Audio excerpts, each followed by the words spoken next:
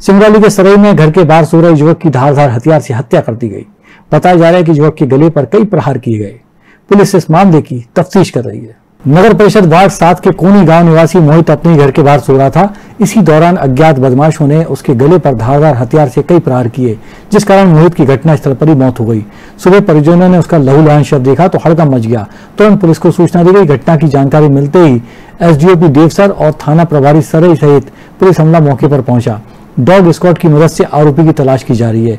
वहीं जघन्य हत्याकांड के बाद से इलाके में खौफ का माहौल है। हमारे हंड्रेड डाल करीब साढ़े तीन चार बजे के आसपास सूचना मिली थी कि उसके रिश्तेदारों के माध्यम से कि मोहित बसुर बाहर सोया हुआ था और उसकी हत्या हो गई। मौके पर तत्काल हमारे थाना प्रभारी सरई, उनकी टीम यहाँ मौके पर पहुँची और उन्होंने देखा, जानकारी लगी कि मृतक जो था, घर से बाहर करीब सौ मीटर साथियों साथियों के यहाँ कुछ रात में खाना पीना खाने गया था।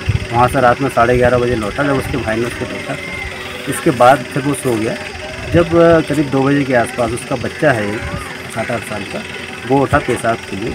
उसने देखा कि पिताजी चारपाई पर सो रहा है उससे खून टपक रहा है। तब उसने अपने पड़ोस पास पड़ोस में रहने वाले रिश्तेदारों को खबर की तो रिश्तेदारों ने पुलिस की खबर की पुलिस ने मामला संज्ञान में ले लिया है। अब अपराध पंजीबद्ध करके वैधानिक और विवेचना की जा रही है।